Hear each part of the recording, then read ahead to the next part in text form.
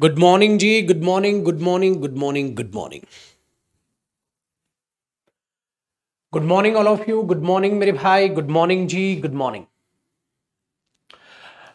और मेरे भाई, ये दो प्यारे प्यारे पोस्टर आपको दिख रहे होंगे। एक तो वो हमारे पास नए हमारे छुटकू मियाँ हैं जो जुड़ेंगे आज नाउन से, क्योंकि नाउन से बच्चा जुड़ सकता है तो नाउन से हमने एडमिशन ओपन किए हैं। एक तो ये है जी चीज़। ठीक है, सारी डिटेल आपको दिख रही है। ठीक है, सारी डिटेल आपको दिख रही है। ठीक है, पहली बात। दूसरी जो मेन बात है भाई साहब, वो हमारे प्यारी सी इस बुक की है, जो दो साल की मेहनत है, इसे मैं बहुत प्रमोट कर रहा हूँ, आप लोग देख रहे होंगे। मेरी हर वीडियो में, मेरी हर डायलॉग में, ठीक है, आपको हर जगह हर जगह आपको बुक का एड दिख रहा होगा। ठीक है भाई तो एक ये प्रमोशन है। डन है जी तो इस छोटी सी वार्तालाप के बाद इस प्रमोशन के बाद, प्रमोशन एक्टिविटी के बाद, अब आते हैं मेरे दोस्त, हमारी इस प्यारी सी वार्तालाप को आगे बढ़ाते हैं और हम चालू कर रहे हैं आज अपना टॉपिक नाउ ठीक है भाई? पहली बात। तो टॉपिक बड़ा इंटरेस्टिंग है यार, और इसकी खासियत भी है मेरे दोस्त। इसकी खासियत ये है, इसकी खासियत ये है, ठीक है, कि ये ऐसा टॉपिक है जिसको बच्चा लाइटली लेता है। पेपर में बहुत पूछा जाता है भाई। आपको मैं एक बात ना चैलेंज करके कह सकता हूँ। आप कोई भी कॉम्पिटिटिव एग्ज़ाम दो, उसमें नाउन से क्वेश्चन ऐसा हो ही नहीं सकता कि ना आया आपको पता है? क्यों? क्योंकि जो नाउन टॉपिक है ना, वो एक टॉपिक का जन्मदाता है। उस टॉपिक को हम सिंटेक्स कह सकते हैं सेंटेंस फॉर्मेशन कह सकते हैं। और उस टॉपिक को हम कह सकते हैं सब्जेक्ट वर्ब एग्रीमेंट मतलब अगर आप नाउन बेहतरीन तरीके से खत्म करते हो ना मेरे दोस्त तो सब्जेक्ट वर्ब एग्रीमेंट आपका टैकल होगा। सेंटेंस ट्रांसफॉर्मेशन ठीक है? आप कहीं ना कहीं कुछ ना कुछ सेंटेंस बेसिकली ये कह सकता हूँ सेंटेंस फॉर्मेशन सीख जाओगे, जो आके सेंटेंस ट्रांसफॉर्मेशन में आपकी हेल्प करेगी। और आप ये सीख जाओगे कि वर्ब अगर आती है तो वो सब्जेक्ट के हिसाब से आती है। सब्जेक्ट आपका नाउन या प्रोनाउन ही होते हैं तो आपको नाउन अगर आ गया तो वो टॉपिक आपको समझ आ जाता है। तो सिंपल सा लहजा और बात ये है मेरे दोस्त कि सब्जेक्ट वर्ब एग्रीमेंट कोई अलग टॉपिक नहीं होता, वो पूरी की पूरी ग्रामरी होती है। इसीलिए उसकी आप डायरेक्ट प्रैक्टिस करते हो जब आपका सिलेबस बिल्कुल एंडिंग पर होता है। तो नाउन को खाली ये समझ के नहीं चलिएगा कि खाली नाउन ही आपको समझना है। नाउन में कई ऐसे टॉपिक्स हैं जो नाउन से पहले खत्म करने बेहद ज़रूरी होते हैं, जो नाउन से रिलेटेड ही टॉपिक्स होते हैं, जिनकी हम अभी बात करेंगे और उनको हम पढ़ना स्टार्ट करेंगे। तो एक बात को बड़े ध्यान से समझने की कोशिश कीजिए और हम आ जाते हैं छुटकू मियाँ, एक प्यारे सी चीज़ को समझकर फिर इसकी जरा चर्चा पे लग जाते हैं। देखो बेटा। ये आपका एक सिलेबस है। ये इंग्लिश का सिलेबस है, जो आपके पास पीडीएफ में अपलोडेड भी होगा। ठीक है? ध्यान से सुनो। आपके पास आपके पास कुछ टॉपिक्स की मैंने जान पूछ के ग्रामर में यहाँ लिस्ट बनाई है। ठीक है? टॉपिक्स की जान पूछ के मैंने लिस्ट बनाई है, उसका एक रीजन है। ठीक है? उसका एक रीजन है। क्यों है? देखो वर्ड फॉर्मेशन फ्रेज क्या होता है? क्लॉज क्या होता है? सेंटेंस फॉर्मेशन क्या होती है? और पार्ट्स ऑफ़ स्पीच कैसे पहचाने? उसकी आइडेंटिफिकेशन कैसे करें? Words used as different parts of speech. Same शब्द अलग अलग पार्ट्स ऑफ़ स्पीच में यूज़ किया जा सकता है। एक ये चीज़। तो कितने ये चर्चा है? ये छह टॉपिक्स की चर्चा। है जो आपका इंग्लिश के फंडामेंटल्स तैयार करती हैं, जो आपके इंग्लिश के दूसरे शब्दों में कहूँ बेसिक्स को तैयार करती है। ये चीज़ें रिलेट करती है फिर नाउन टॉपिक से। ये चीज़ें फिर रिलेट करती है नाउन टॉपिक से। इसका मतलब छुटको मियाँ, अगर आपको नाउन तक पहुँचना है तो आपको इनसे गुजरना होगा। अगर आपको नाउन तक पहुँचना है तो इनसे आपको गुजरना होगा। तभी आपको नाउन दिमाग में समझ आएगा बैठाएगा ठीक है? पहली चीज़। डन है दूसरी चीज़ ध्यान से सुनेगा। तो क्या ज़रूरी होता है कि नाउन समझने के लिए इन टॉपिक्स को समझे? बिल्कुल। अगर ऐसा होता ना, जैसे बच्चे प्रोनाउन से बैच चला रहा हूँ तो प्रोनाउन को समझने के लिए प्रोनाउन का बेसिक पढ़ो प्रोनाउन पढ़ो बिल्कुल। कई बैच ऐसे होते हैं डियर जो टेंस से स्टार्ट होते हैं। कई होते हैं, जो प्रोनाउन से बच्चा जुड़ता है। कई होते हैं, जो नाउन से जुड़ता है। तो कोई फ़र्क नहीं पड़ता। इस बात को अपने दिमाग से, वहम को अपने दिमाग से निकाल दो। आप कोई भी टॉपिक करो, उसका सबसे पहले बेसिक करना सीख लो। आप कभी भी ज़िंदगी में मार नहीं खाएँगे। हमारी गंदी आदत होती है प्रोनाउन तो सीधा प्रोनाउन चालू कर लिया प्रोनाउन से रिलेटेड बेसिक नहीं किया। नाउन तो सीधा नाउन चालू कर दिया नाउन से रिलेटेड बेसिक नहीं किया, आप वही फंसते हैं। टेंस तो सीधा टेंस चालू कर दिया, ऐसा कभी नहीं। पहले टेंस का भी बेसिक होता है, इसीलिए ध्यान से सुनिएगा जब मैं टेंस चालू करता हूँ तो उसमें आपके पास एक चीज़ नज़र आएगी आपको। देखो, जैसे टेंस वर्ब बेसिक पार्ट उसके बाद use of tense and time in tense चलता है। फिर इंटेंशन ऑफ़ स्पीकर है मॉडल्स है कंडीशनल्स है वॉइस है, ठीक है वॉइस एडवांस है नरेशन है नरेशन एडवांस है वर्ब एडवांस है कंजंक्शन इन्वर्जन ऐसे चल के बहुत सारे आपके टॉपिक हैं, जो टोटल जाके रुकते हैं थर्टी सिक्स पर। ठीक है तो ये ध्यान रखिएगा। तो आपको क्या समझ आता है कि डायरेक्टली बेटा नाउन चालू करना बेवकूफ़ी है। डायरेक्टली प्रोनाउन चालू करना बेवकूफ़ी है। डायरेक्टली आपका टेंस चालू करना बेवकूफ़ी है। तो सबसे पहले आपको उनका बेसिक पढ़ना चाहिए। तो मैंने बोला ना, तीन जगह से आप बैच ज्वाइन कर सकते हैं, तीन जगह से आप चीज़ों को समझ सकते हैं। तो हम कहाँ से समझे? अब नाउन से। तो इतना भाषण सिर्फ़ इसलिए था कि आप सबसे पहले जब भी आप देखें तो सबसे पहले आप बेसिक बात को समझ लें। ये वो रास्ता है, ये वो रास्ता है जो आपको सारी चीज़ों को टैकल कराएगा। तो इस बेसिक बात को आपके लिए समझना बेहद ज़्यादा ज़रूरी है। तो आपकी हेडिंग नाउन डल रही है मेरे दोस्त बट नाउन से पहले उस तक पहुँचने का वो रास्ता तय करते हुए चलेंगे और नाउन को साथ साथ गैदर करते हुए चलेंगे, ठीक है? तो हेडिंग नाउन डालिए और टॉपिक डालिएगा बेसिक ठीक है? जैसे जैसे टॉपिक की लिस्ट चलती जाएगी, आप टॉपिक्स की लिस्ट बनाते चलना, क्योंकि नाउन में भी टॉपिक्स डिवाइडेड है। नाउन में भी टॉपिक्स डिवाइडेड है। डियर जब मैं आपको नाउन क्लोज बताऊँगा तो मैं पहले क्लोज पढ़ाऊँगा नाउन फ्रेज बताऊँगा तो पहले मैं फ्रेज बढ़ाऊँगा। नाउन एक वर्ड भी हो सकता है तो पहले मैं वर्ड फॉर्मेशन आपको बताऊँगा। इस तरीके से हम नाउन को पढ़ेंगे और साथ साथ आपको समझ आता जाएगा ये फ्रेज क्या होती है क्लोज क्या होती है सेंटेंस कैसे बनता है, क्या चीज़ें इंग्लिश में आती हैं। तो नाउन से रिलेटेड वो चीज़ें आपको पता चलती चली जाएँगी, ठीक है? रेडी गाइस तो माँ सरस्वती का ले नाम और स्टार्ट करते हैं हमारे प्यारा सा टॉपिक देखो जी। सबसे पहले अगर मैं इंग्लिश की बात करता हूँ साथ साथ कॉपी कीजिएगा डियर आप सबको पता है इंग्लिश लैंग्वेज की तरह हम ट्रीट करेंगे। उसे सब्जेक्ट की तरह ट्रीट नहीं करेंगे। अब लैंग्वेज और सब्जेक्ट में क्या डिफरेंस होता है, उसको भी मैं पहले आपको बता के चलता हूँ। देखो, जब आप लैंग्वेज की बात करते हो ना तो लैंग्वेज को पढ़ने के लिए अपने आप में अप्रोच होती है। ध्यान से सुनिएगा। अप्रोच क्या होती है? डियर एक अप्रोच आपकी होती है सब्जेक्टिव अप्रोच साथ साथ कॉपी करना है आपको। एक होती है आपकी सब्जेक्टिव अप्रोच ओके और एक आपकी होती है ऑब्जेक्टिव अप्रोच अगर ये चीज़ समझ नहीं आएगी तो दिक्कत आएगी आपको। अप्रोच होती है किस तरीके से आप उस चीज़ को टैकल करोगे, किस तरीके से आप उस चीज़ को हैंडल करोगे। तो अप्रोच में एक आपकी होती है सब्जेक्टिव अप्रोच और एक होती है ऑब्जेक्टिव अप्रोच माय डियर जो सब्जेक्टिव अप्रोच है, उसका मतलब है आपका किसी चीज़ के प्रति आपका अपना पर्सनल पॉइंट ऑफ़ व्यू क्या है? आप उस चीज़ के बारे में क्या सोचते हैं? तो ये आती है सब्जेक्टिव अप्रोच जिसमें हम देखते हैं dear personal point of view personal point of view इसमें ये आती है बात। पहली चीज़ ऑब्जेक्टिव अप्रोच होती है dear according to the situation according to the condition उस सिचुएशन में, उस कंडीशन में, उस सर्कमस्टांसेस में। एक कॉमन पॉइंट ऑफ़ व्यू क्या है? तो इसको हम बोलते हैं कॉमन टू ऑल आप कह सकते हैं इसका point common to all that means सबका ओवरऑल पॉइंट ऑफ़ व्यू एक नॉर्मल सिचुएशन में क्या होना चाहिए? ठीक है? दूसरा, इसको हम कहते हैं अकॉर्डिंग टू द कंडीशन उस कंडीशन के हिसाब से क्या पॉइंट ऑफ़ व्यू होना चाहिए अकॉर्डिंग टू द कंडीशन अब भाषा में आप साथ साथ कॉपी करते चलेंगे डियर साथ साथ कॉपी करते चलेंगे। जब हम लैंग्वेज की बात करते हैं तो आप क्या करते हो?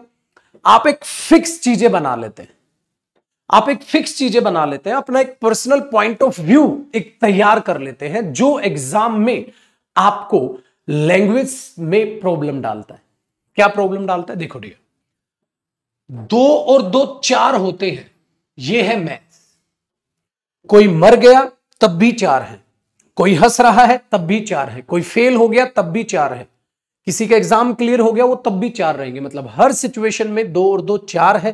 प्लस करोगे तो तो वो चार ही रहेंगे। भाषा में ऐसा नहीं है।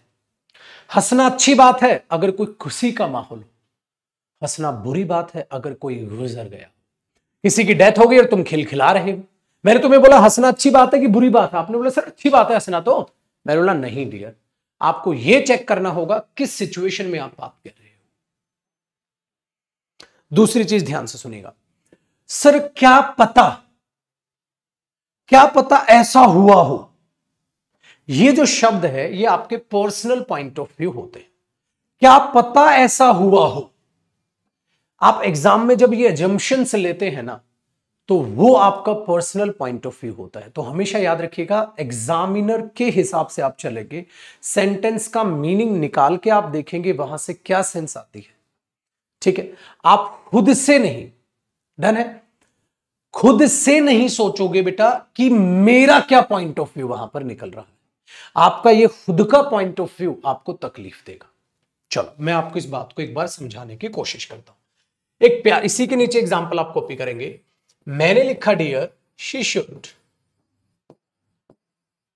wait on her ill husband dear जिनको नहीं पता, मैं आपको बता दूँ वेट ऑन का मतलब होता है पुत्र जी देखभाल करना. वेट ऑन का मतलब क्या होता है? देखभाल करना. तो इसका मीनिंग क्या आ रहा है? उसे अपने बीमार पति की देखभाल करनी चाहिए. इतना मीनिंग समझते हैं? वेरी गुड और एक स्टेटमेंट में अगर इसमें ऐसे लिख दू सी शुड साथ साथ कॉपी रखिएगा एग्ज़ाम्पल भी. She should wait for her ill husband उसे अपने बीमार पति का इंतज़ार करना चाहिए। डियर वेट फॉर का मतलब क्या होता है? इंतज़ार करना। अब आप खुद से सोचिए, उसका पति बीमार है तो उसे उसकी देखभाल करनी चाहिए या इंतज़ार करना चाहिए? क्या लॉजिकल पॉइंट ऑफ़ व्यू है आपका? क्या लॉजिकल पॉइंट ऑफ़ व्यू है आपका? आप बोलेंगे, सर फ़र्स्ट सही लग रहा है सेकंड गलत लग रहा है। मैंने बोला, क्यों? सर, पति बीमार है, इंतज़ार करना चाहिए नॉनसेंस है। टेक केयर करनी चाहिए। अब क्या होता है कई बार स्टूडेंट सोचता है सर क्या पता उसका पति कहीं गया हो? और मैं बोल रहा हूँ कि आ, सर उसको तो अपने बीमार पति का इंतज़ार करना चाहिए घर थोड़ी ना जाना चाहिए। मैंने बोला बेटा ऐसा कुछ लिखा है? कहता है नहीं सर। तो आप क्या कर रहे हैं? Sir personal point of view बता रहा हूँ। खुद ये जम्पन्स क्रिएट कर रहा हूँ। गलत है। तो एग्ज़ाम में क्या करना है आपको? कॉमन पॉइंट ऑफ़ व्यू कि सिचुएशन क्या है? क्या वहाँ लॉजिकल आपको लग रहा है? कहीं आप कुछ रट तो नहीं रहे हैं? इसीलिए जब आप रूल्स पढ़ते हैं तो रूल्स आपको इसलिए बर्बाद करते हैं क्योंकि आप रूल्स में लिमिटेड कर लेते हैं अपने आप को, सिचुएशन के हिसाब से नहीं चलते। इसीलिए जो एग्ज़ाम में है, आपको याद रखना, आपको ये अप्रोच अप्लाई नहीं करनी, आपको इस अप्रोच के थ्रू आपको चलना है। आपको कभी भी लैंग्वेज में ये अप्रोच अप्लाई नहीं करनी। आपको हमेशा इस अप्रोच पर चलना है। तो आप हमेशा चलेंगे ऑब्जेक्टिव अप्रोच के हिसाब से। कभी भी रट के नहीं चलेंगे। बात को सुनिएगा। मेरे दोस्त, अगर मैं कहता हूँ आई एम अ टीचर या आई इज़ अ टीचर तो लैंग्वेज में लैंग्वेज में आई के साथ एम तब आता है जब ये एक स्पीकर को रिप्रेजेंट करे। स्पीकर का मतलब कि बोलने वाला इंसान अपने बारे में बात कर रहा है। सो so, आपने मुझसे पूछा सर आप क्या हैं? तो मैंने बोला I am a teacher I am talking about my self तो मैं यहाँ करूँगा डियर एम इज़ नहीं. बट सुनिएगा अगर मैं कहूँ तो आई क्या है? सर आई तो एक प्रोनाउन होता है।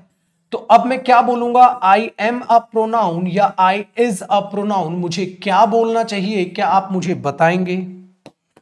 आई एक प्रोनाउन होता है। तो क्या मैं किसी इंसान की बात कर रहा हूँ? नहीं सर क्या मैं अपनी बात कर रहा हूँ? नहीं सर क्या मैं अपनी बात कर रहा हूँ? आई एम अ प्रोनाउन मैं एक प्रोनाउन हूँ। गलत हुआ। तो आप यहाँ बोलेंगे sir I is a pronoun so I के साथ एम आएगा कि इज़ आएगा? रट कर नहीं। मैंने बच्चे से पूछा आई के साथ एम लगाओ इज़ लगाओ कहता सर एम आएगा। आप रूल्स पे जा रहे हैं। सर देखना पड़ेगा। आई अगर इंसान को दिखाएगा, तभी तो एम उसके साथ लगाते हैं। I am a teacher but अगर वही एक इन पर्सन की बात ना कर रहा हो, एक लेटर की तरह ट्रीट किया जाए, कहीं ना कहीं हम कह सकते हैं एक शब्द की तरह ट्रीट किया जाए तो उसके लिए सर हम फिर इज़ लगाते हैं। दिमाग में बैठा तो हम किस अप्रोच से चले? ऑब्जेक्ट चलिए, यहाँ तक का हमारा किस्सा खत्म हुआ। तो मेरे दोस्त, मैंने बोला इंग्लिश जो लैंग्वेज है, वो अप्रोच पर डिपेंड है। और लैंग्वेज को अप्रोच के हिसाब से आप चलाओगे तो इस हिसाब से आप चलने वाले हो। तो इसको कभी अप्लाई मत करना। तो आप ख्वाब मत बुनना। जो सिचुएशन है, उसके हिसाब से देखो क्या होगा। डन हुआ। इतना कॉपी हो गया आपका। साथ साथ कॉपी करना। बिल्कुल जैसे मैं लिख रहा हूँ, ऐसे ही आपको नोट्स बनाने हैं। साफ़ राइटिंग में लिखने हैं, अच्छे तरीके से, ताकि जब आप इसे रिवाइज करो टॉपिक को तो नोट से ही आप रिवाइज कर लो। चलो मेरे दोस्त, अब आगे बढ़ते हो। गया कॉपी कॉपी साथ साथ रखना भाई। टाइम मत लगाना इसमें। अब आगे की बात को जरा समझने की कोशिश करते हैं। तो हमने देखा, ठीक है, अब देखो, जब इंग्लिश हमने देखा लैंग्वेज है हाँ। डियर जो लैंग्वेज का रिलेशन बनता है, वो बनता है साउंड्स से।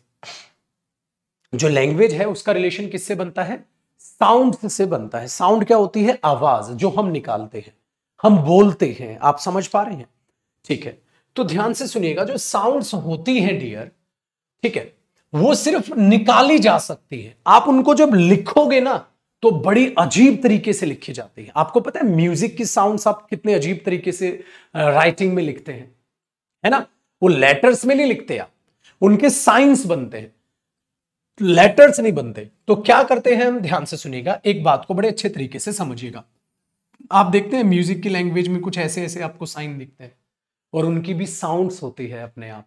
देख पा रहे हैं? ठीक है। तो हमने यहाँ पर क्या किया है? हमने यहाँ दूसरे तरीके से चीज़ों को ट्रीट किया है और इस तरीके को एक बार सीखने की कोशिश कीजिएगा। हम जहाँ लैंग्वेज की बात करते हैं हाँ उसमें हम साउंड्स को लिखते हैं। अगर मेरे से मुँह से निकल रहा है ए बी सी डी ई तो आपने इनकी रिटर्न फॉर्मेशन बनाई है। ए बी सी डी आप ए ऐसे भी लिख सकते हैं, आप ए ऐसे भी लिख सकते हैं, आप ए ऐसे भी लिख सकते हैं। ठीक है, आप ए सिंपल बच्चों की तरह भी लिख सकते हैं, आपका मन। और मैं लिखता हूँ ऐसे। ठीक है, जैसे भी आप राइटिंग में चाहे, ठीक है, कुछ भी इनोवेटिव वे से आप लिख सकते हैं। तो हमने बोला वो लेटर्स बनाए गए हैं, ठीक है? डन तो ध्यान से सुनिएगा, अगर मैं आपसे पूछूँ साउंड्स और डियर लेटर्स में क्या डिफरेंस है तो आप पता है क्या बोलेंगे? सर साउंड्स सिर्फ़ प्रोड्यूस की जाती हैं। उनकी जो रिटर्न फॉर्मेशन होती है, उन्हें हम लेटर्स बोलते हैं। अब अगर मैं इंग्लिश लैंग्वेज की बात करता हूँ तो आपको पता है डियर दोनों में क्या डिफरेंस है?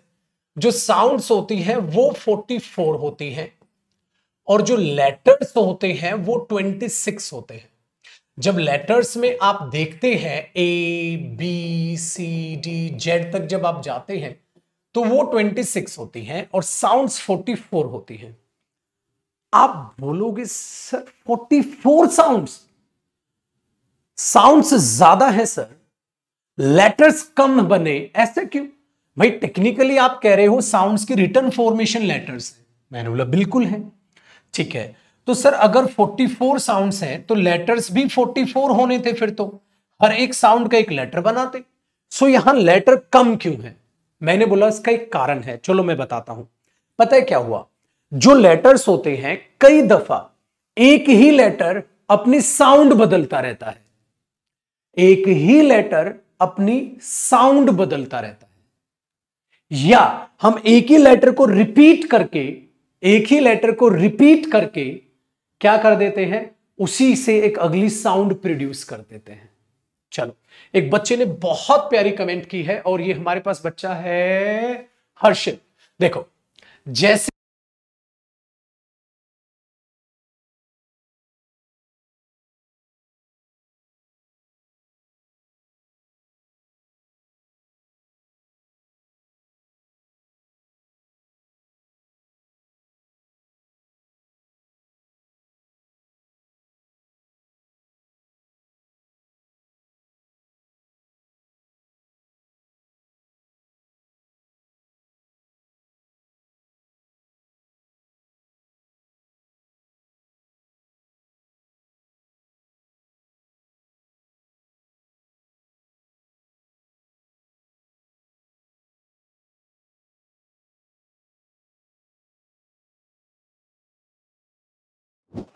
चलिए अब साउंड आ रही होगी।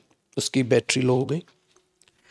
सो so, आप एक बात बताओ आपने पूछा सर आप कहाँ रहते हैं? तो डियर मैंने बोला आई लिव इन दिल्ली मैंने उसको लिव बोला आई लिव इन दिल्ली ठीक है। मैं दिल्ली में रहता हूँ। डन हुआ।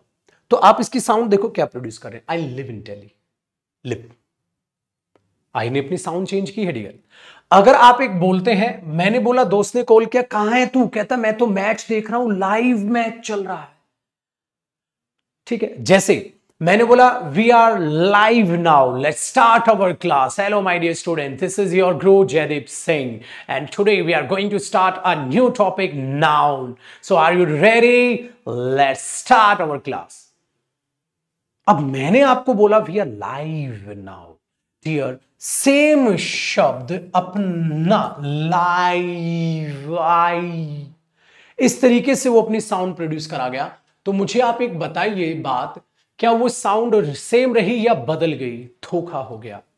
इसीलिए इसीलिए आप जब इसको ध्यान से समझने की कोशिश करते हैं तो आपको ये समझ आता है कि ये साउंड्स ज़्यादा क्यों हैं और लेटर्स कम क्यों हैं। रीजन आपको समझ आया। आगे ध्यान से सुनिएगा। जब हम 44 साउंड्स की बात करते हैं तो इन साउंड्स को एक नॉर्मल तरीके से आप देखोगे तो इसको टाइप्स में बांटा गया है कि कैसे ये प्रोड्यूस की जाती है। साउंड्स प्रोड्यूस करते हैं हम दो तरीके से। सबसे बड़ा जो साउंड में रिलेशन होता है डियर वो इस वोकल कोड का होता है। मैंने बताया है आपको कई दफ़ा। वोकल कोड में जैसे जब आप यहाँ पर अंगूठा रखिएगा, एक बार यहाँ पर, ज़्यादा प्रेस मत कीजिएगा, वरना नाउन पढ़ने की ज़रूरत नहीं पड़ेगी, निकल लेंगे। तो आप यहाँ पर अंगूठा रखे, ठीक है? बोलने की कोशिश कीजिएगा, आपको वहाँ पर वाइब्रेशन महसूस होगी। इसी को बोलते हैं dear vocal code so so, जो सबसे ज़्यादा यूज़ होती है वो वोकल कोड है माउथ भी यूज़ होता है लिप्स भी यूज़ होते हैं। ओवरऑल हमारे बॉडी पार्ट से है यूज़ होने लग रहे हैं साउंड बोलने के लिए। तो इस साउंड में जैसे मैंने बोला ए ए तो जब आप ए बोल रहे हैं तो आपको देख रहे हैं आप वोकल कोड का इस्तेमाल हो रहा है। तो ऐसी साउंड्स जिसमें सिर्फ़ वोकल कोड का इस्तेमाल होता है उन साउंड्स को हमने वावल साउंड्स बोल दिया गया। उन साउंड्स को हमने वावल साउंड्स बोल दिया गया, जिनका रिलेशन था डियर वोकल कोड से। अगर मैं और टेक्निकल जाऊँ ना तो वोकल कोड की जो आप देखते हैं, वो 16 एम mm होती है। कॉपी नहीं करना। 16 एम mm होती है बॉयज़ में मैन में, और विमेन में वो होती है 10 एम mm इसलिए जो विमेन और बॉयज़ की आवाज़ होती है, उसमें डिफरेंस होता है। बॉयज़ अपन लोगों की है फटे हुए सैलेंसर जैसी। जो गर्ल्स है, उनकी आवाज़ जो होती है, वो अब दे कहते हैं स्वीट होती है पैनी होती है, हम ये नहीं बोलते। ठीक है, वो चीज़ यहाँ है तो वो इसी वजह से तो होती है। ठीक है तो कई लोग प्रैक्टिस करते हैं बहुत ज़्यादा, ठीक है सिंगर्स ज़्यादातर प्रैक्टिस करते हैं वोकल कोड की। ठीक है, उनकी एक्सरसाइजेस होती हैं, वो डॉक्टर्स के, ठीक है अंडर प्रैक्टिस करते हैं तो वो अपनी वोकल कोड से छेड़छाड़ कर लेते हैं, इसलिए सोनू निगम। गर्ल्स की आवाज़ में भी बात कर सकता है इवन गा तक सकता है। ठीक है? तो वो टेक्निकल बात यहाँ है। चलो जी, वापस आते हैं टॉपिक पे। तो याद रखिएगा, उनको हमने वावल साउंड्स बोला। जो अदर साउंड्स हैं, उनको हमने कॉन्सोनेंट साउंड्स बोल दिया। चलिए। अब आपको पता है, अगर आप देखते हैं तो वावल साउंड्स ट्वेंटी होती हैं डियर और कॉन्सोनेंट साउंड्स 24 होती हैं। चलो। अब आपने बोला, सर, वो क्या है? फिर ए, ई, आई, ओ, यू। बचपन में तो हमने ये पढ़ा है, ठीक है? A, E, I, O, U. तो उसको मैं बता दूँ, बेटा, वो लेटर्स होते हैं। जब आप वावल लेटर्स की बात करते हैं ना, जब आप वावल लेटर्स की बात करते हैं तो वो फाइव होते हैं। और आप कॉन्सोनेंट लेटर्स की जब बात करते हैं, वो आपके ट्वेंटी वन होते हैं। ठीक है तो जो आप ए ई आई ओ यू पढ़ते हैं, वो आपके लेटर्स होते हैं। और जो बाकी हमारे पास बच गए, वो आपके कॉन्सोनेंट लेटर्स होते हैं। तो आप देख पा रहे हैं ट्वेंटी साउंड्स को सिर्फ़ फाइव लेटर्स से उसने रिप्रेजेंट कर दिया। ठीक है, सिर्फ़ फाइव लेटर्स से उसने रिप्रेजेंट कर दिया। तो यहाँ ये कमियाँ आप देख पाते हैं। ठीक है जी, चलो, इतना भी हमें समझ आया। अब क्या करना है? अब आगे जरा कहानी को बढ़ाते हैं और आगे जरा चीज़ों को सीखने की कोशिश करते हैं। ध्यान से सुनिएगा। ठीक है? क्या समझे यहाँ तक? हमने देखा वावल्स हैं कॉन्सोनेंट्स हैं वावल लेटर्स हैं कॉन्सोनेंट लेटर्स हैं हाँ। इनको डियर और डीपली पढ़ा जा सकता है, जिनका मैं ज़िक्र अभी नहीं, बाद में करूँगा। लेजी साउंड्स को आप देखते हैं, ठीक है? ये है। फिर सेमी वावल्स को आप कई बार देखते हैं, वो है। तो वो चीज़ें ज़्यादा डीपली उन्हें पढ़नी चाहिए, जिन्हें काम करना है लैंग्वेज पर बोलने के लिए, जिसको हम पढ़ते हैं आईपीए चार्ट के अकॉर्डिंग मैं बताता हूँ ये क्या होता है। International phonetic alphabet chart IPA chart वो लोग पढ़ते हैं, जिन्हें सिंगिंग पे काम करना होता है, या जिन्हें एक एक साउंड को बेहतरीन तरीके से निकालना है। साइलेंट लेटर्स आप देखते हैं साइलेंट साउंड्स देखते हैं लेजी साउंड्स देखते हैं लॉन्ग साउंड्स देखते हैं शॉर्ट साउंड्स देखते हैं रिपीटेड साउंड्स देखते हैं। ठीक है? बहुत सारी साउंड्स आपके पास आएगी। डीप टंग साउंड आप देखते हैं, फिर वो डीप टंग लेटर्स को भी एकदम पढ़ने की कोशिश करते हैं डीप टंग साउंड्स को भी पढ़ने की कोशिश करते हैं। ठीक है? बैकवर्ड साउंड्स फॉरवर्ड साउंड्स बहुत सारी डिटेल आ जाती हैं। जब आप बात करते हैं how to read IPA chart international phonetic alphabet chart but हमें वहाँ नहीं जाना। हमारा बैच है कॉम्पिटिटिव एग्ज़ाम्स के लिए। हमें ना तो सिंगिंग करनी है, ना हमें पब्लिक स्पीकर बनना है कि इतना डीपली आपको जाने की रिक्वायरमेंट पड़ेगी। आसान हुई। डन तो आपको इनकी जानकारी फ़िलहाल के लिए ज़रूरत आपको नहीं है। तो इसको करते हैं हम अवॉइड और बात को ले जाते हैं आगे में। तो मेरा फ़र्ज़ बनता है कि आपको थोड़ा सा बता के ज़रूर चलूँ। ऐसा नहीं आई पे आप सुने और आपको कुछ ना पता हो। ठीक है? आगे बढ़ते हैं। डियर जब लेटर्स के बाद की बात करते हैं कि सर लेटर्स के आगे चलेंगे। ठीक है? जब आपको वो कैब मैं मैं बताऊँगा ना तो लेजी साउंड्स वगैरह आपको बता के चलो। देखो लेटर्स तक कहानी पहुँच गई। हाँ। अब लेटर्स से क्या बना है? वर्ड बना है। अब आ रहे हैं ना आहिस्ता आहिस्ता। देखो तो भाई जो मैंने आपको ये कहा कि डियर जब आप बात करते हैं, जब आप बात करते हैं इस टॉपिक में वर्ड फॉर्मेशन की, कि वर्ड तक आप कैसे पहुँचे? तो खाली वर्ड तक हम यहाँ तक पहुँचने की अभी हमारी जो कोशिश है, उसमें हम कामयाब हुए और हमने देखा लेटर्स के बाद डियर बातचीत हम करते हैं वर्ड की। वर्ड की दो हमारे पास सिंपल रिप्रेजेंटेशन है। वर्ड आप कह सकते हो। एक ऐसी यूनिट है जो कलेक्शन ऑफ़ लेटर्स है, जिसके पास मीनिंगफुल साउंड है। तो आपने क्या बोला? कलेक्शन ऑफ़ लेटर्स है। साथ साथ कॉपी कीजिएगा, डियर। कलेक्शन ऑफ़, इसको ऊपर लिखें। क्योंकि यहीं से अब चीज़ें नीचे आएँगी। आप इसमें लिखेंगे collection of letters. Collection of letters ये कलेक्शन ऑफ़ लेटर्स है लेटर्स की कलेक्शन है। प्लस याद रखिएगा डियर मीनिंगफुल साउंड मीनिंगफुल होनी चाहिए साउंड ठीक है। ये नहीं कि वो बोल क्या रहे वो समझ ही नहीं आ रहा तो वो तो कोई वर्ड ही नहीं है। एक बात को बड़े ध्यान से सुनिएगा डियर जब आप कोई गलती करते हैं और आपके पापा आपको बुलाते और आपसे पूछते हैं। तो आपकी आवाज़ नहीं निकलती तो पापा कहते हैं क्या बोल रहे तू? अब समझ आया मतलब तुम ऐसे ही वहाँ वर्ड बनाने की कोशिश कर रहे हो जिनका अपने आप में कोई अर्थ नहीं है। जिनका अपने आप में कोई अर्थ नहीं है। अब भाई, कम का तो अर्थ है, इधर आ जाओगे। कम एयर यहाँ तो कम का तो अर्थ है, आओ, ठीक है। अब तुमने इसको कर दिया, ठीक है। मैको। अब भाई ये कोई वर्ड होगा इंग्लिश में तभी तो तुमने गूगल क्या, कहते तो कुछ आ ही नहीं रहा। तो ये चीज़ आप अपने दिमाग में बैठाइएगा, वो चीज़ आप यहाँ समझ पाएँगे। तो पापा क्या कह रहे हैं, बेटा कलेक्शन ऑफ़ लेटर्स तो बना रहा तू बट तेरी साउंड मीनिंगफुल नहीं लग रही है। फिर डंडे टिकते हैं, फिर जब पापा डंडे मार रहे होते हैं, फिर तुम साउंड निकालते हो। उसका भी कोई अर्थ नहीं है। कहते वो तो सर दर्द जानता है हमारा। ठीक है, हम पे क्या बीतती है? तो वो शब्द आप यहाँ पर लेकर चलते हैं। समझ आइएगा? तो वर्ड तक आप पहुँचे। अब जब वर्ड की बातचीत करते हैं तो भाषा में भाषा में जो शब्द सेंटेंसेस में यूज़ किए जाते हैं, उन शब्दों का अपनी पार्ट्स ऑफ़ स्पीच होती है। मतलब बोलने में उनका अपना एक हिस्सा होता है। तो इस वर्ड से ही मेरे दोस्त हमारे पास निकल के आती हैं पार्ट्स ऑफ़ स्पीच। इस वर्ड से ही हमारे पास निकल के आती हैं पार्ट्स ऑफ़ स्पीच। जिन्हें आप बोलते वक्त यूज़ करते हो, इन्हीं से निकल के आती है पार्ट्स ऑफ़ स्पीच। ठीक है? वेरी गुड तो पार्ट्स ऑफ़ स्पीच का कैसे इस्तेमाल किया जाता है, कैसे उसको यूज़ करते हैं, जरा समझते हैं मेरे भाई। डन चलो। पहली पार्ट्स ऑफ़ स्पीच आप जानते हैं क्या होती है हमारे पास? नाउन दूसरी प्रोनाउन तो कितनी पार्ट्स ऑफ़ स्पीच आप टोटल पढ़ते हैं? एट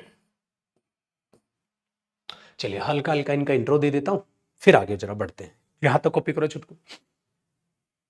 एक बच्चा कह रहा लगता है सर आपने बहुत मार खाई ऐसा कोई है? भारत देश सिर्फ़, मैं कहूँगा, एक ऐसा देश है पूरे वर्ल्ड में, जिसमें वाकई में मैं कह सकता हूँ माँ बाप भगवान के ही समान होते हैं, हमारे भगवान होते हैं। मुझे नहीं लगता इस पूरे के पूरे वर्ल्ड में कोई भी ऐसी कंट्री है, जहाँ वाकई में ये कथन, ये स्टेटमेंट सत्य है, सिर्फ़ भारत देश में। मुझे ऐसा मानना है कि वाकई में हमारा भारत महान है, क्योंकि वाकई में यहाँ के माँ बाप भगवान के समान है, भगवान है हमारे लिए दूसरा कहना जायज़ है। बाकियों का तो सिर्फ़ चोचला है। आप सबको पता हो गई बात। चलिए मेरे दोस्त कॉपी कीजिए। लिखिए तो माँ बाप से मार ना खाए तो खाना हजम नहीं होता भाई, तब तक तो। क्या कहते हो? है नहीं?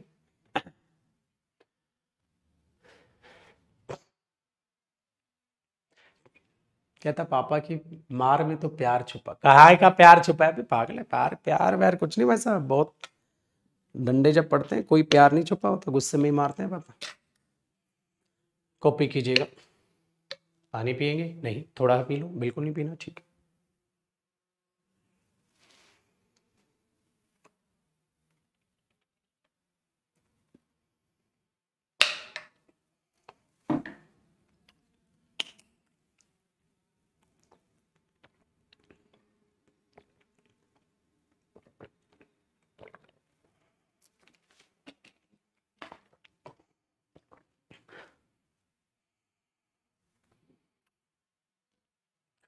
तो यहाँ तक कोई डाउट कोई समस्या, कोई दुख, कोई तकलीफ़ है तो बताएँ।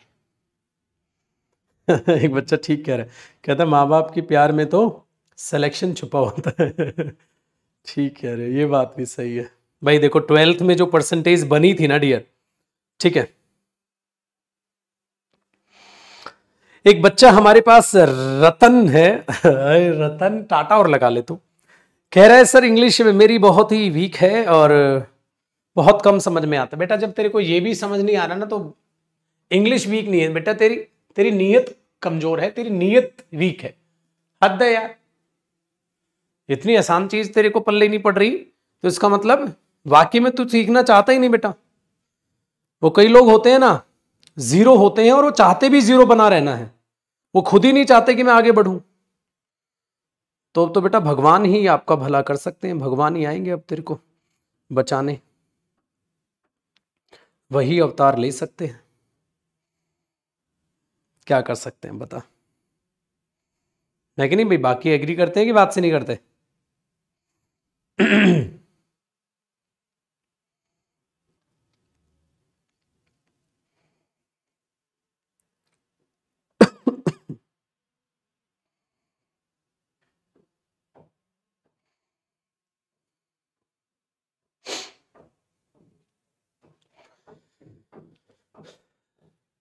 चलिए मेरे दोस्त, अब आगे की बात करते हैं।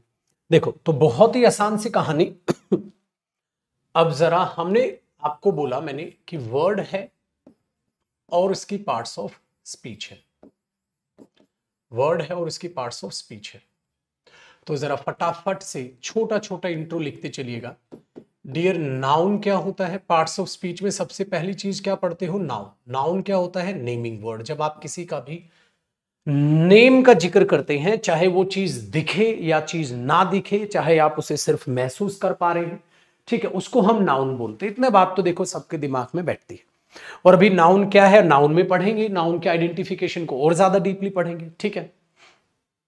तो हमने क्या बोला? नाउन का मतलब हो गया नेमिंग वर्ड जिसको हम शॉर्ट में नहीं बोलते नेम ऑफ़ एनीथिंग है ना?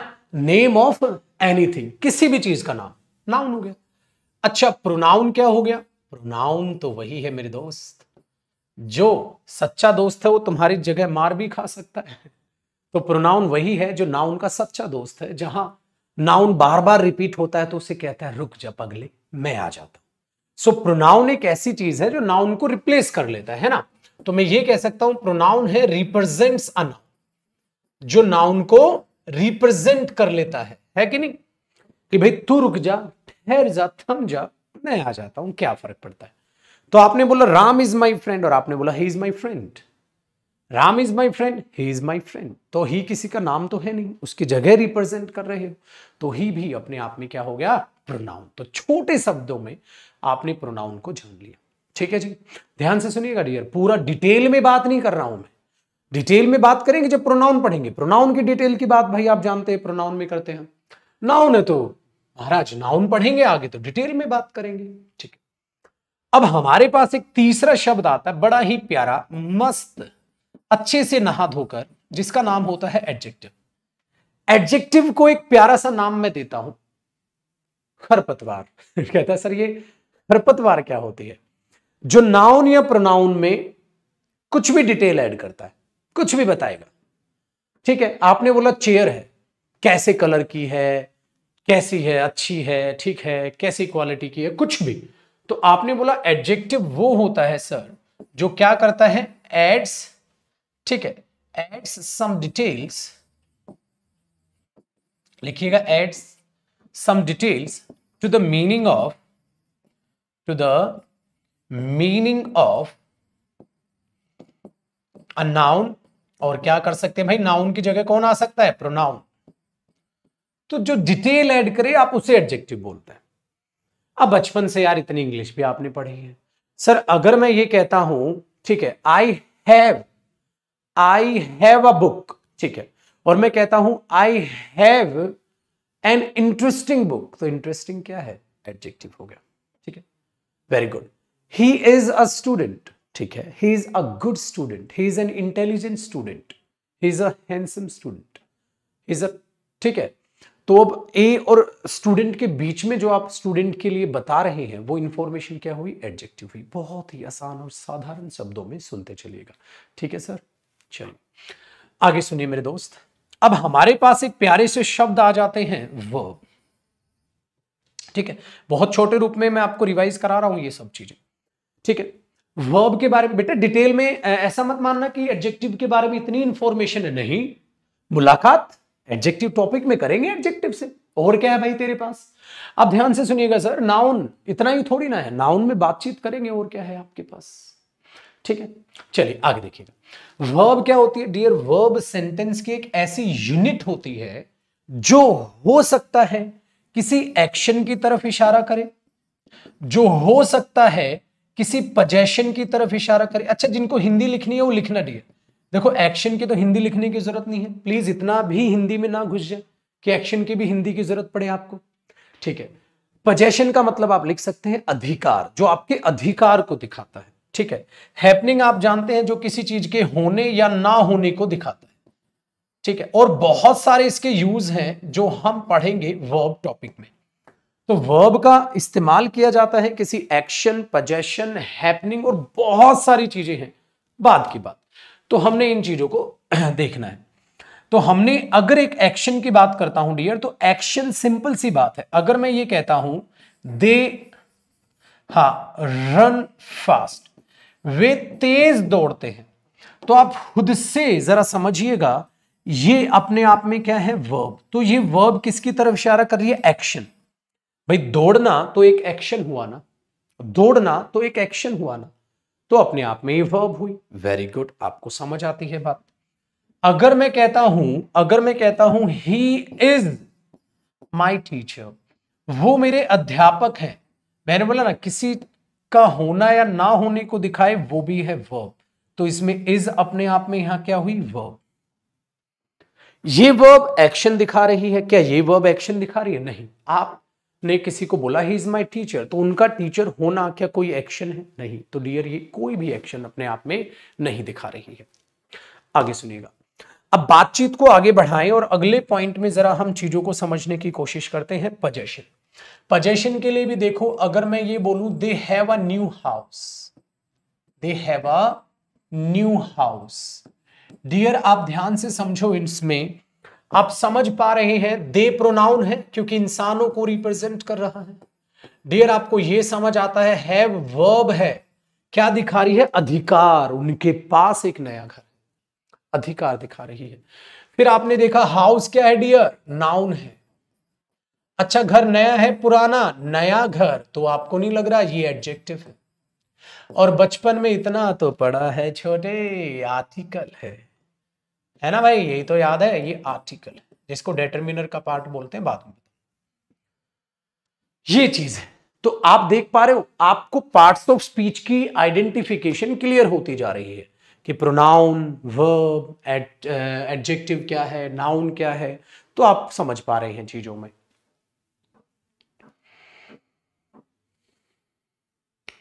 डन है?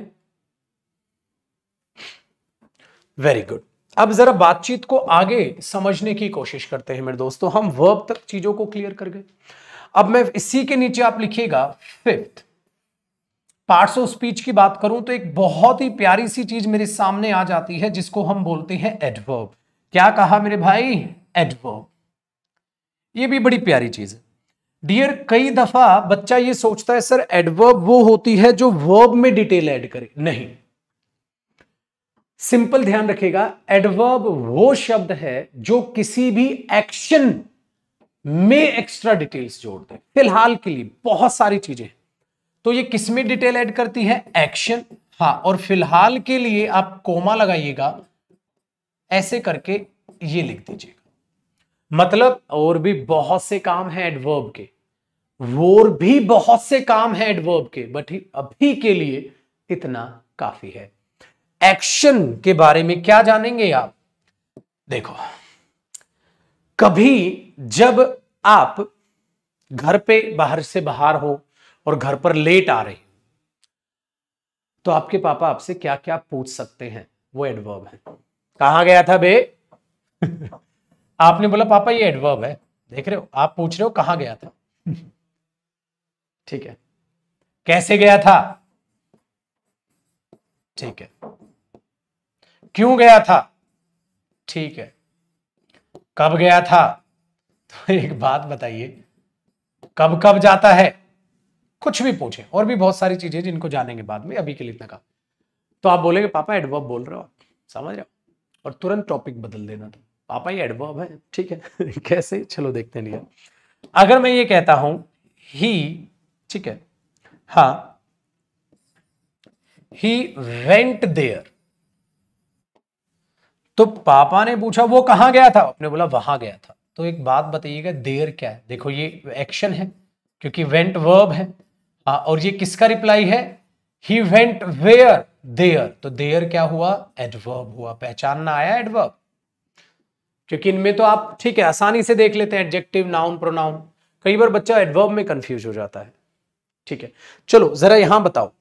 भाई ये वर्ब एक्शन है? हा they run they run how कैसे दौड़ते हैं? स्लो ठीक है धीमे धीमे दौड़ते हैं, तेज़ी से दौड़ते हैं स्लोली या फास्ट फास्ट तो ये भी तो एडवर्ब है।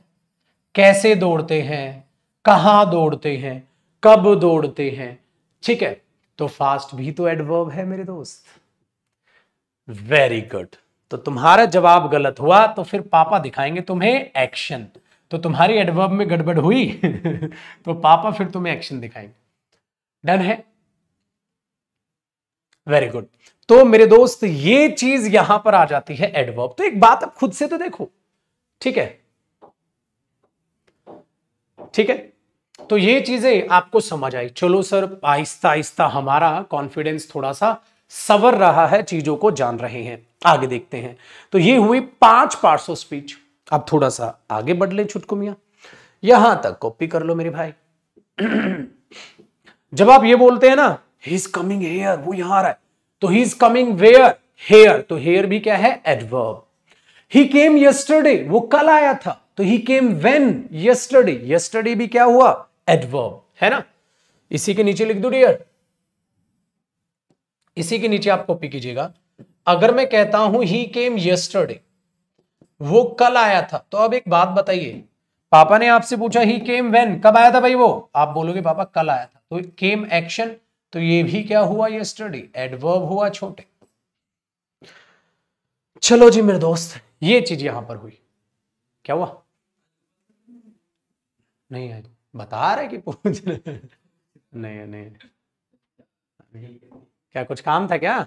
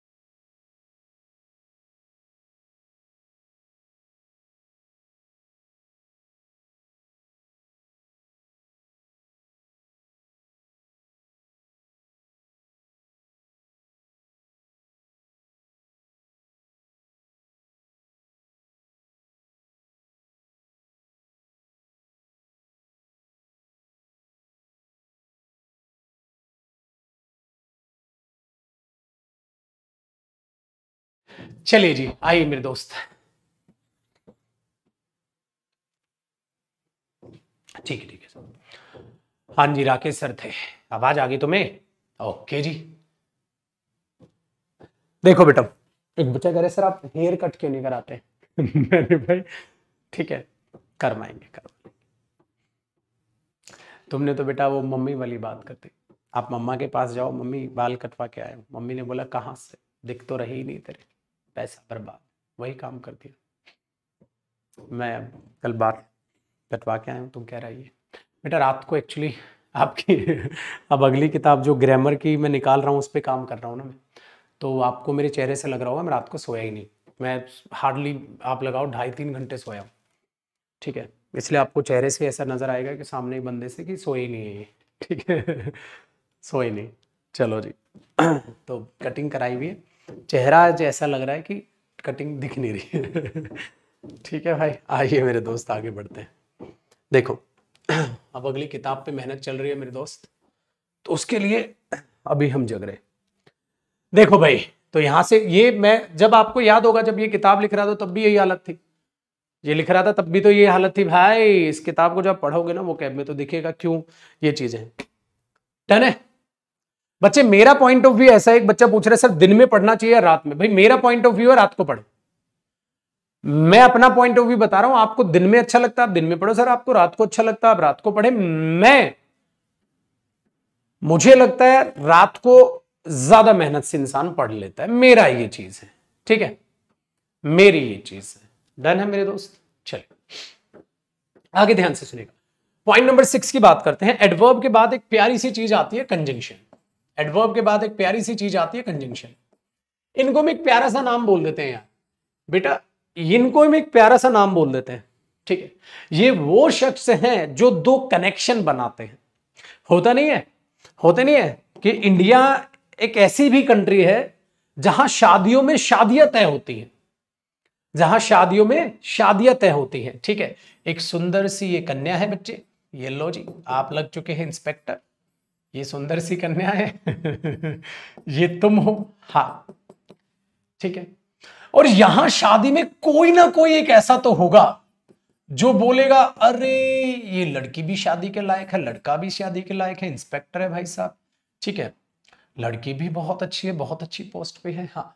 चलो, दोनों की शादी करा देते हैं। फिर ये इस तुम्हारी फैमिली से भी बात करेगा, इस फैमिली से भी बात करेगा। डन है। और बच्चे, यही होगा कंजंक्शन तो कंजंक्शन का क्या होता है काम? ज्वाइनिंग वर्ड होता है, ठीक है? चलो, मज़ाक मस्ती एक तरफ़। कंजंक्शन का काम क्या होता है? ठीक है ज्वाइनिंग वर्ड होता है। तो मेरे दोस्त, जो कंजंक्शन होता है, उसी का काम है ये। तो इसीलिए हम इसको बोल देते हैं, भाई साहब है ज्वाइनिंग वर्ड जोड़ने वाले शब्द। जोड़ने वाले शब्द। ठीक है? बहुत बढ़िया। तो इसी को हम ज्वाइनिंग वर्ड बोल देते हैं। अब हमने बोला हमने बोला मोहन एंड मोहन एंड मोहिनी। ठीक है आर फ्रेंड्स अब आप ध्यान से सुनिएगा, आप यहाँ इस थोड़ी ना लगाते, आप आर ही लगाएँगे। तो आपने बोला ये जो दो सब्जेक्ट्स हैं, उनको जोड़ने का काम कौन कर रहा है? एंड तो डियर मैं ये कह सकता हूँ, ये है conjunction so conjunction basic level पे समझे तो जोड़ने का काम करता है। ठीक है जी? आप बच्चा पूछ रहे हैं सर। डायग्राम भी बना ले। बिल्कुल बनाओ बिल्कुल बनाओ। अभी पिटेगा तो।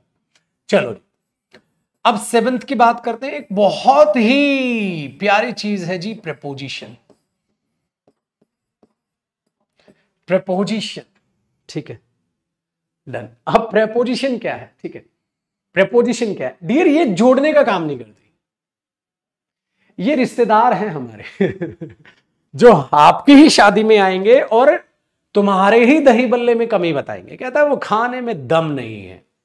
ये वो रिश्तेदार है। तो ध्यान से सुनिएगा, इनको बोलते हैं सिर्फ़ रिलेटिंग वर्ड्स डियर इनका काम होता है सिर्फ़ रिलेट करना रिलेटिंग वर्ड्स ये साथ नहीं निभाएँगे। ध्यान रखिएगा, ये साथ नहीं निभाएँगे। ये साथ नहीं निभाएँगे एक्स्ट्रा में रहेंगे। ये साथ नहीं निभाएँगे, जब भी काम आएगा जब भी काम आएगा, ध्यान रखना, इन्हें ही तुम दूर खड़े पाओगे। अगर तुम फेल हुए तो जीत रिश्तेदारों की होगी, पड़ोसियों की होगी। अगर तुम पास हुए तो जीत परिवार की होगी। तो देख लो, तुम्हें किसे जिताना है। तुम्हारे रिश्तेदार, बुरे, भाई, अच्छे रिश्तेदार भी होते हैं। तुम्हारे बुरे रिश्तेदार और बुरे पड़ोसी तुम्हारे हारने का इंतज़ार कर रहे हैं। तुम्हारे सच्चे दोस्त और तुम्हारे माँ बाप तुम्हारे जीतने का इंतज़ार कर रहे हैं। अब तुम सोच लो, किसे जिताना है, किसे हराना है। आगे देखिएगा तो रिलेटिंग शब्द ये हुआ। इसीलिए मैंने कहा डियर जब मैंने लिखा he went he went Harshit he went Harshit, क्या ये रिलेट कर रहा है? नहीं तो आपने बोला सर टू लगा दो ही वेंट टू हर्षित। तो ये वर्ब है, एक एक्शन है, हर्षित एक नाउन है। तो इन वर्ब और नाउन को रिलेट करना था तो इसने रिलेट कर दिया। इसी को हम प्रेपोजिशन बोलते हैं। बेटा, आपने जोड़ा नहीं है आप वर्ब और नाउन को जोड़ सकते हैं। अरे वर्ब और नाउन क्यों जोड़ोगे आप? ठीक है। वर्ब और नाउन को क्यों जोड़ोगे आप? तो वर्ब और नाउन को आप रिलेट कर रहे हो। ठीक है, जोड़ नहीं रहे हो। कहीं आप ये बोले, ये तो कंजंक्शन हो गया। नहीं नहीं नहीं सिर्फ़ रिलेट कर रहे हैं कि वो गए थे, कहाँ गए थे? ठीक है, गए थे, कहाँ गए थे? हर्षित के पास गए थे। तू कहाँ गया था? हर्षित के पास गया था। तो ही वेंट टू हर्षित। ठीक है। करो यहाँ तक कॉपी। तो इस तरीके से चीज़ों को आप संभालोगे। तो ये हुआ आपका प्रपोजिशन, ये हुआ आपका प्रपोजिशन।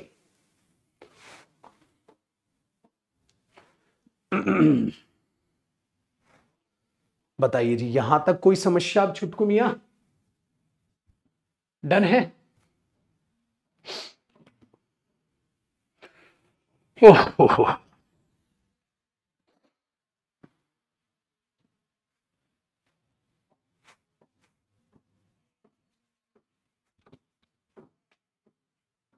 चलो जी, महारथी।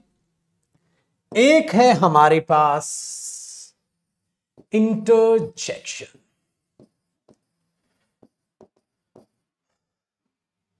ये भी शब्द होते हैं भाई, जिसको हम नरेशन टॉपिक में पढ़ते हैं। इंटरजेक्शन अलग कोई टॉपिक नहीं होता, ना पेपर में उतना पूछा जाता है।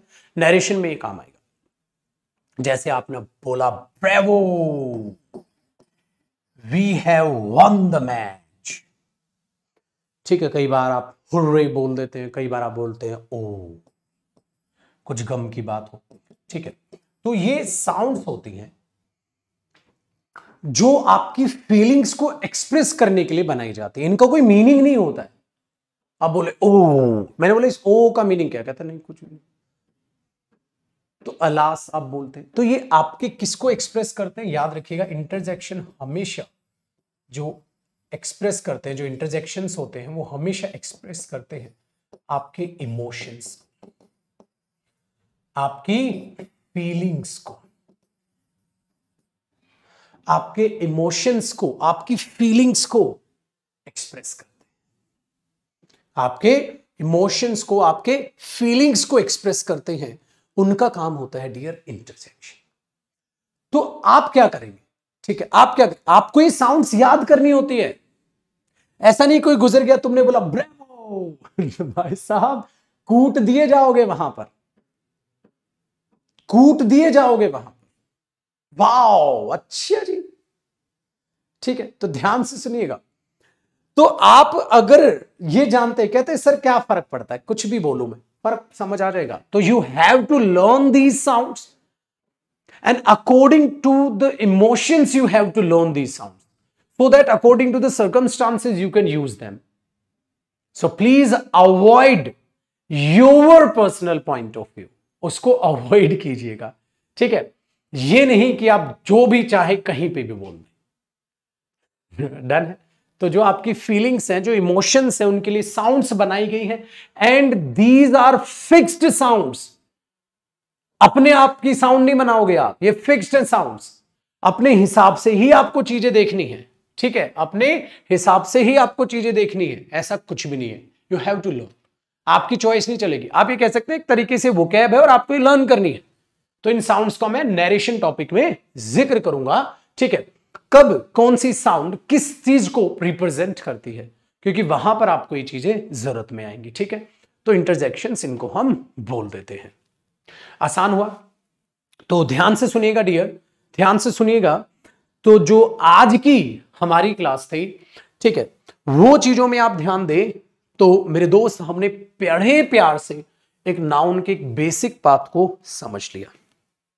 एक नाउन के हमने बेसिक बात को समझ लिया। अब आएगा मज़ा तो हमारा बेसिक पाथ पहला टॉपिक मैं कहूँगा नाउन का खत्म हुआ सर अब हम कह सकते हैं सब एक समान हो गए और अब हमारा नाउन का टॉपिक नंबर टू है जो कल स्टार्ट होगा। कल मैं आपको बताऊँगा नाउन आखिरकार होता क्या है दैट मीन्स नाउन की डेफिनेशन क्या है। दूसरी बात, कल टॉपिक होगा नाउन आइडेंटिफिकेशन डेफिनेशन के बाद मैं आपको बताऊँगा कि नाउन की आइडेंटिफिकेशन कैसे होगी। इसी के साथ noun definition and noun identification कल इस टॉपिक से हम फिर बात को आगे बढ़ाएँगे कि वाकई में नाउन कैसे छाटा जाता है, कैसे पता करें हम इस सेंटेंस में ये नाउन है। आहिस्ता आहिस्ता ऐसे अब टॉपिक बढ़ता चला जाएगा। तो हम ये कह सकते हैं इस बेसिक बात हो सकता है कई स्टूडेंट्स को ये बेसिक पहले से पता हो डियर बट मेरा फ़र्ज़ बनता है जब भी मैं किसी भी टॉपिक को स्टार्ट करता हूँ ना तो मैं कभी भी ये नहीं सोचता कि ये पता होगा स्टूडेंट को। नहीं। मैं हमेशा बता के चलता हूँ। उसका एक रीजन है डियर ये ऑनलाइन बैच है। ऑफलाइन नहीं है कि आप सामने से खड़े होके बोल दोगे सर, ये नहीं पता मुझे। अब ऑनलाइन में हमारे पास हर टाइप का स्टूडेंट है। वो भी है जिसका बेसिक्स अच्छा है, वो भी है जिसका बेसिक अच्छा नहीं है। वो भी है जिसकी इंग्लिश अच्छी है, वो भी है जिसकी इंग्लिश वीक है। सबको एक समान लेके चलना। होता है ना माँ बाप के लिए ऐसा नहीं है कि बड़ा वाला बेटा अच्छा लगता है या बिटिया अच्छी लगती है या छोटा बेटा अच्छा लगता है। माँ बाप से पूछोगे उनके लिए सब एक समान है। एक अध्यापक के लिए हर एक स्टूडेंट एक समान है। इसलिए मेरे दोस्त, मैंने आपको वायदा किया था कि हर टॉपिक में ज़ीरो लेवल से पढ़ाऊँगा। बिल्कुल बेसिक से लेकर यूँ ही मज़ाक मस्ती के साथ उसे अच्छे लेवल तक हम लेके जाएँगे। इसलिए आज की पूरी की पूरी एक क्लास मैंने बेसिक को दी। आप में से कई बच्चे हैं जो बेसिक पढ़ चुके हैं। कईयों को पता है बट मैंने फिर भी उसे रिपीट किया। आप भी एक शिक्षक की तरह सोचेंगे तो आप भी पाएँगे, यही अप्रोच सबसे बेहतरीन है। ठीक है तो इसी तरीके से हम आगे चीज़ों को बढ़ाएँगे, चीज़ों को सीखते चलेंगे, ठीक है, और कल के टॉपिक जो है, हमारे पास आएँगे नाउन डेफिनेशन और नाउन आइडेंटिफिकेशन इससे हम बातचीत को आगे दौड़ाएँगे बट एक बात याद रखिएगा डियर आज नाउन की क्लास नंबर वन थी। कल नाउन क्लास नंबर टू है।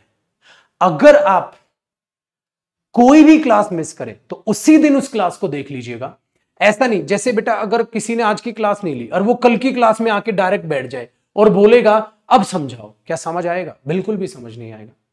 So please be serious matter ये नहीं करता कि आपने बैच कितने रुपए में खरीदा है। मैटर ये करता है, जब आपने बैच खरीदा है तो आपके माँ बाप ने अपने सच्चे इमोशंस आपसे जोड़े हैं। कि मेरे बेटे ने या मेरी बिटिया ने बैच खरीदा है, अब वो भी पढ़ेगी और वो भी कामयाब होगी। उन इमोशंस की धजियाँ मत उड़ाना। आप हमेशा बैच को पैसे में आंकते हैं। उस चीज़ को छोड़ दीजिए मेरे दोस्त। बात पैसे की नहीं है, बात इमोशंस की है। किसी ने बैच डिस्काउंट पे लिया होगा, किसी ने बैच 1100 में लिया होगा। बात ये नहीं है, या कोई जो भी बैच आपने इंग्लिश स्पेशल मेरा लिया। बात इमोशंस की है। पैसा तो पहले ही हम कम करके चल रहे हैं। ऑफलाइन की जो कोर्स फ़ी है, वो डियर फोर्टीन थाउज़ेंड है इंग्लिश की। ऑफलाइन की जो कोर्स फ़ी है हमारी मुखर्जी नगर की, जो मेरी कोर्स फ़ी है, वो चौदह हज़ार रुपए चार्ज करता हूँ मैं ऑफलाइन की। और ऑनलाइन में खर्चे ही नहीं है दोस्त तो वो ग्यारह सौ है। बट मैं हमेशा एक बात बोलता हूँ, दोनों के कंटेंट में कोई भी फ़र्क नहीं है। दोनों में सेम पढ़ाता हूँ सेम तरीके से तो इस बात के लिए बिल्कुल बेफिक्र रहिएगा। आप बोलोगे, सर, इतना बड़ा डिफरेंस क्यों है? बिल्कुल डिफरेंस है डियर क्योंकि ऑनलाइन में चीज़ें एक्सपेंसिव नहीं होती, ना रेंट जाता है, ना कुछ जाता है। ऑफलाइन में जो भी बच्चा है मेरे से पढ़ के गया हुआ है, जो भी है, उन्हें सारी सच्चाई पता है, कितने खर्चे होते हैं। सिरदर्दी बढ़ जाती है, भाई। इतने सारे बच्चों को आप मैनेज करके चलते हो। इतना सारा स्टाफ हमारा लगता है। तो वो चीज़ें हैं तो सिर्फ़ जैसी एक्सपेंसेस हैं, उसी हिसाब से चीज़ों को रखा जाता है। अब इस बात से बेफिक्र रहिएगा, ठीक है? तो कंटेंट में कोई भी डिफरेंस नहीं है, क्योंकि एक बच्चा लिख के पूछ रहा था कि सर ऐसे ऐसे डिफरेंसेस होता है। नहीं, ऐसा कुछ भी नहीं, ठीक है? आप चाहें तो ऑफलाइन में जो भी बच्चा है, उसका रजिस्टर उठा के आप अपने रजिस्टर से कंपेयर कर सकते हैं, ठीक है? ये चीज़ याद रखना, ठीक है? ठीक है बेटा? तो कई बच्चे होते हैं जो उनका बड़ा चोर दिमाग चलता है। और हमेशा ना बच्चे हो बेटा बच्चे बन के रहो। चोर बनने की कोशिश मत करो। खुश रहोगे आबाद रहोगे। एक गुरु और एक मेरे माँ बाप ठीक है? आ, एक बच्चा एक सेकेंड एक सेकेंड एक डाउट पूछ रहा काफ़ी देर से। एक मिनट रुकिएगा बेटा। फिर मैं अपना जो है बात पूरी करता हूँ।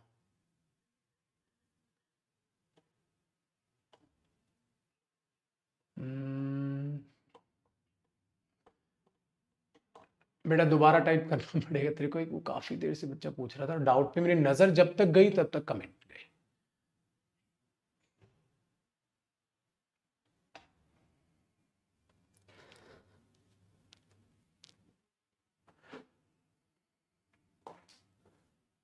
आइए जी।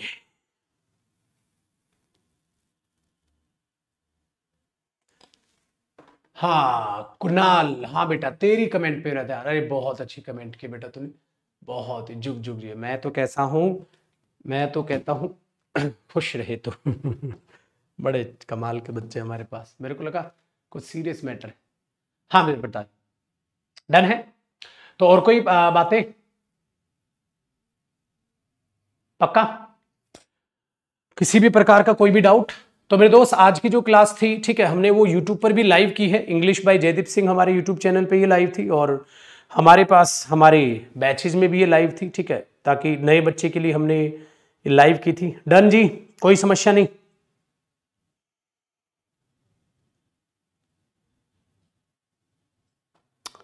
पक्का? चलो जी, बच्चा पार्टी कोई समस्या नहीं तो बड़ी खुशी की बात ठीक है। हाँ बेटा, एक बच्चा पूछ रहा है, सर, बैच में कितने स्टूडेंट होते हैं? हाँ ये ज़रूर बताऊँगा। ये बहुत ज़रूरी है है ना बेटा? अगर ये बात नहीं हुई तो सिलेक्शन कैसे होगा तेरा? और ले ले ले ले, इतना भारी डाउट मेरे को लगा, क्या पूछे? कितने भारी डाउट से गुजरना पड़ रहा है मेरे बच्चे? ओहो हो हो हो हो।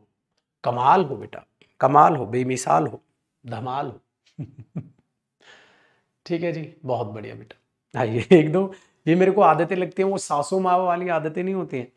कोई भी जब बहू होती है, वो सासू से, माँ से खुश नहीं होती।